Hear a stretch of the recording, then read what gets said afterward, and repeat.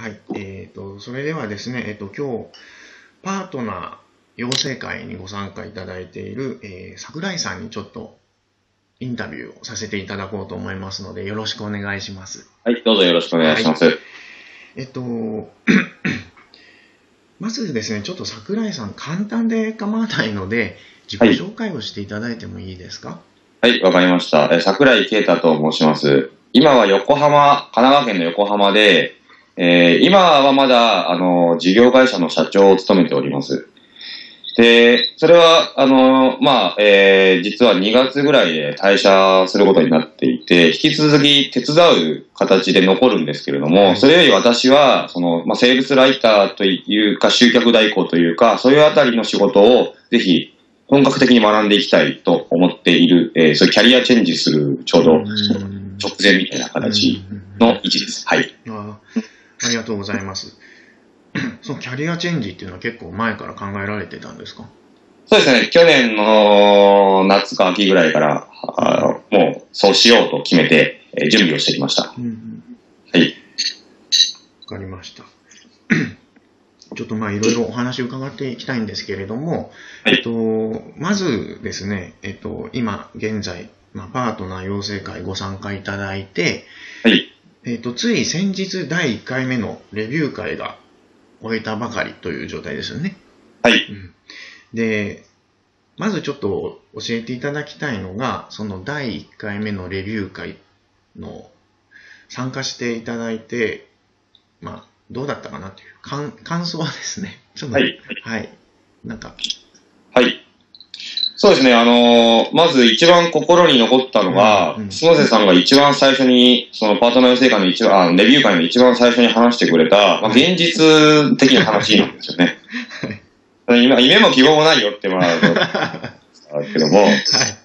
えー、まあ、あの、ある意味、えー当たり前のうん話、至極当然の話なんですけど、まあなんかこう、セールスライティングとかっていうと、やっぱりこう、ね、夢のある仕事だっていうことを散々言われてるかと思うんですね。はい。なんですけれども、まあ実際はもうちょっと泥臭くて、あのーまあ積み、下積み期があって、まあ当たり前の話です、それは。それを当たり前の話は当たり前だよねって言ってくれたので、まあ目が覚めたというか、あ、やっぱそうなんだなって 思って逆に安心した。ああ。あそだったら逆に信じられるな、みたいな。そんな、そんな夢のそんないい話ってなかなかないよな、とか、ちょっと怪しく思ってる人でも、はい。スノスさんのその話を聞けば、多分、あ、そうだよなって思えると思うんですよね。そういう意味では一番そこが最初、あの、印象に残りましたうね。んええちょっとそう、ありました？かそういうちょっと、ゆ夢見、夢見がちな部分。あ、はい。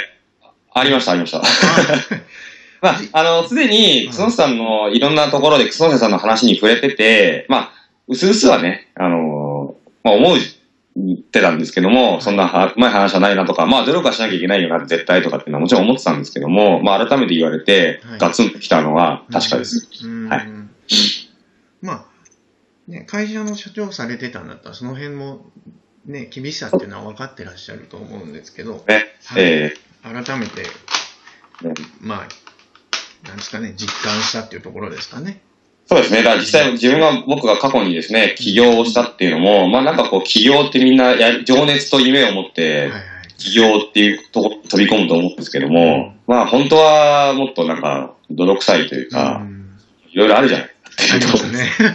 エルスライターでも同じだぞというはいことが、はい、あの、分かったっていうと僕は知らなかったわけじゃないんだけど、実感できたなと思いましあそこまではっきり言われると、ね。なかなかあそこまで言う人いない。そうですね。はい。レビュー会のそのえ、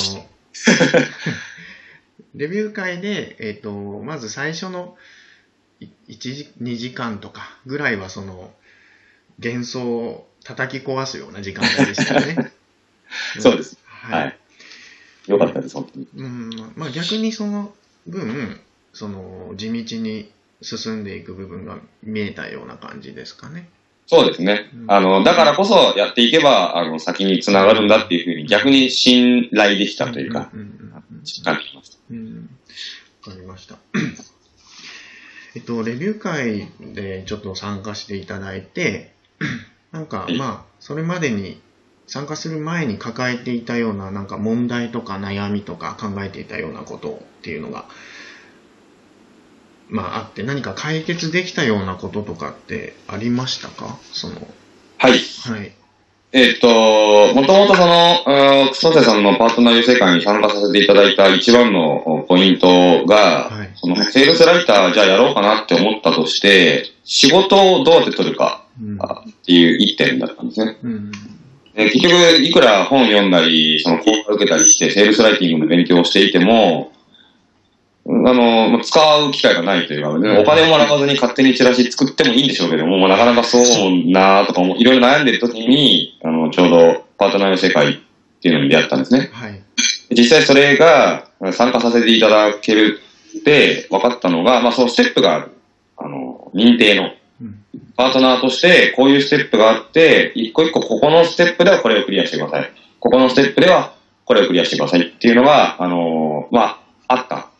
で、それですごい、あのーほっとしたというか安心できて、先が見えたっていうのはが、あの、大きいですね。じゃあまず自分はこれをやってればいいんだ、とか、じゃあこれが、ここまでできてるんだったら、こんな仕事を、あの、もしかしたらいただけるのかなとか、あのーそういうふうな先が見えたので、仕事が、こう、ね、あのまあ、来るって保証はないですけども、うん。まあ、と自分の力で進んでいけるんだっていうのが見えたので、非常に安心しました。うん。うん。うん。うん。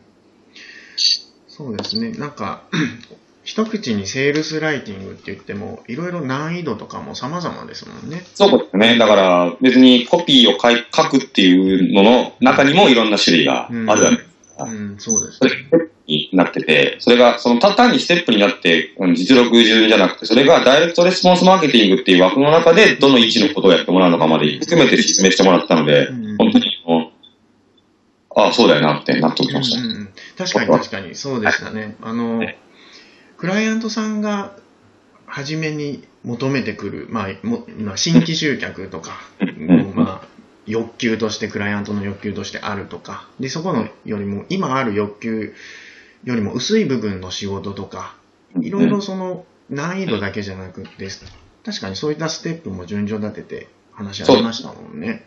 だから、変な話、いきなり近くの美容院なり治療院なり行って、新規集客のチラシ書かせてくださいっていきなり言うのうは、ん。あ、リスクなんだとかその先にあるものを、えー仕事として持たなきゃいけないんだとか、うんね、あの、そういうのが、えー明確になったんで、うん単純にあれは一つの話として面白いです。うんうんパートナーの世界関係なく、すそうですよね。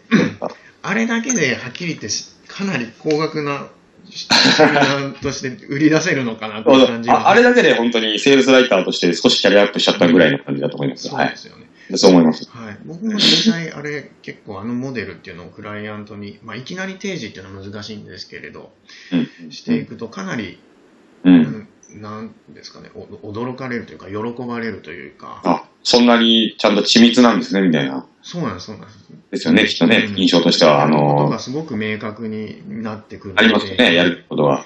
結構どの業界でも使える感じですよねあ、もうあれはもう何でもそうですよね。うんえビジネスやっていく人は、あのモデルでうんいけるんじゃないかな。そうですね。えそう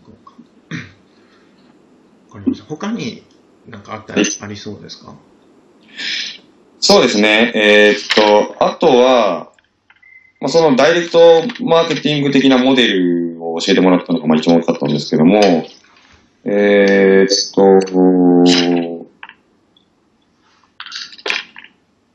まあ、あとは、ちょっとこの5になっちゃうのかな。あ、違う。と一つ申し上げるとすれば、はいはいその、店舗ビジネスの集客の先ですよね。うんうんうん。に、えーあるものが、まあ、あの、角瀬さんが多分やりたいところなのかな。インフォマーケティングの、はい。インフォビジネスのところが、その、例えば美容院でも、治療院でも、飲食店でも、その先にニュースレターっていうビジネスモデルじゃないですか。うんうん。で一番レバレッジが効くんだっていう話をはい。したと思うんですけども、そのところが次には一番興味を引きましたね。うんうんうんうん。レバレッジっていうところが常にそうですね意識されてるところなので、そうですね。はい、そこがやっぱり大きいビジネスを生んでいくところですもんね。そそうですね。だから、その、結局集客代行でチラシ作ってっていうことをセールスライターとしてやっていくのが、まあまあ先にあるのは当たり前なんですけども、そこだ結局その労働。に対する対価。それを超えて、レバレッジが効いて、労働を超えたところで収入が入るっていうモデルがその先にもあのあったのうん。で、はい。その、単に集客代行で終わらないというか、あーこれはすごい、あの、可能性が大きいうん、うん、確かに。ものだったんだとそうですね。ですねうんはいはい、ねちょっとぜひ、本当にパートナーの人たちと実現させたいなと思思うんですけどね。ね。うんでも、面白いと思いますね。うんでかい。うん、かなり大きなことを考えていらっしゃるので、楠瀬さん。なんか、今回の内容を受けて、こんまず、目先のこととして、こんなことがやっていけそうかなとか、あまあまあ、目先じゃなくてもいいですけども、はい、はい。ご自身で何かこんなことが実現できそうかなとか、そういったことってありますか？はい、あのー一番最初に、えー認定のステップとして紹介されていたのはリサーチだったんですけども、はい。まあ、セールスライティングやるんだったらリサーチっていうのはもう本当に重要で、全工程のライティングというかそのプロジェクトの全工程のまあ半分ぐらいはリサーチに費やせっていうようなね、あのーアドバイスもあるじゃないですか。で、リサーチっていうのが一番大事だと僕も思うんですけれども、その最初にまず認定の課課題としてリサーチ項目っていうのを、あのあるんですけども、ちょっと目の前目先というか、その今すぐやらなきゃいけないこととしてはまずそれをやっていこうっていうふうに思って、すぐちょっとやったんですけど、あの後です。どうでした、反省してないですけど。あの早速こうやって動けたので、よかあったなそう。ですね。はいさすが。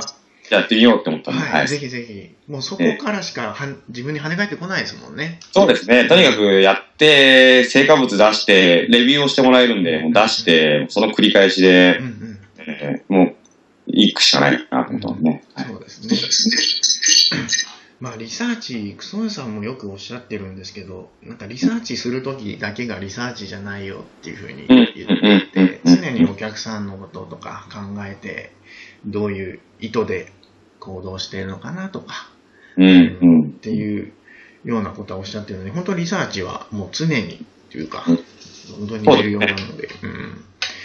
ええあのリサーチの技術、技術というか、結局リサーチってなんか何からやればいいのかって分かんなかったんですよ。うんうんあの通りに項目リストにしてくれたんで、うんうんうんあの通りにね、上から順番に、まあ、調べていけばいいわけないですか。すごくそれが分かりやすくてよかったですね。うんうんそうですね。こちら、あの、などんなビジネスでもリサーチするんで、必ず。うんででそのまま、その、それ単体で価値があるじゃないですけど、さっきの、あの、あれじゃないですけど、うんそうですね。それはそれでまた価値があって、はい。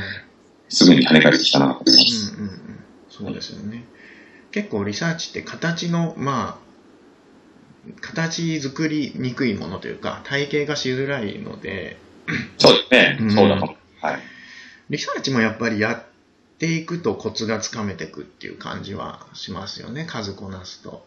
そうですね、だから同じ分野をずっと続ければね、絶対楽になっていくはずだし、うんうんあれも数こなさなきゃなってすごい思ってます。うん、そうですね。わかりました。なんか、意気込みとか、最後に。あ、はい。結局その仕事をセールスライターとして取るっていうところでどうすればいいかわからなかったんですけれども、まあその課題を与えてくれて、えーまあこのステップがあるよっていうのを言っていただけたので、あの本当にそれに、それをちゃんとやろうって今は思ってます。あの、一個一個やっていこうで、私はまあ、そのとはいえ、本業として、あの、セールスライター一本でいきなり今年やるわけじゃなくて、副業として、はい。あの、まあ、やっていくつもりなんですけれども、まだですね。はい。あの、その中で、時間も限られていく中で、一番その最短の道、最最短って言うとおかしいかな。まあ、あの、正しい道を、あの、教えてもらったっていう感覚がすごくあります。だからその時間が少ない中でも、あの、このことをやっていけば、間違いがないんだっていうふうに、一つその、確信できた、あーレビュー会というか、いまあ、この、このパートナーの世界っていう集まりだったと思いますので、これ今後、それをただ、ふーんで終わらせずに、もう動くと。とにかくやると。手動かして書く。はい。えー、成果物として出す。ダメでもね、それがあの、ボロボロでも、ボロボロというか、作付けがなくても、もう、えいやってもう出してみるしかないので、そうですね。えもうそこ怖がらずに、はいはい。行動、あ、なんだっけ、くそねさんの言葉ですよね、これ。あのーその、成功の反対は失敗じゃなくて行動しないだ、みたいなうんまさにその通りだと思って、うんはい。行動しないことは絶対にしない。うんうんそういいことねはい。成功しようと思って行動すると失敗が必ず生まれますもんね。そうううんん。怖かったのもあります、確かにそこが。うん。確か吹っに。切れましたんで、うん。できてます。あ、よかったです。ぜひ、ちょっとどんどん行動して、もうみんなを引っ張っていくような存在になっていただけたら嬉しいなと、はい、思います。はい。じゃあちょっと今日はお時間いただいてありがとうございました。いや、とんでもないです。またよろしくお願いします。はいありがとうございます。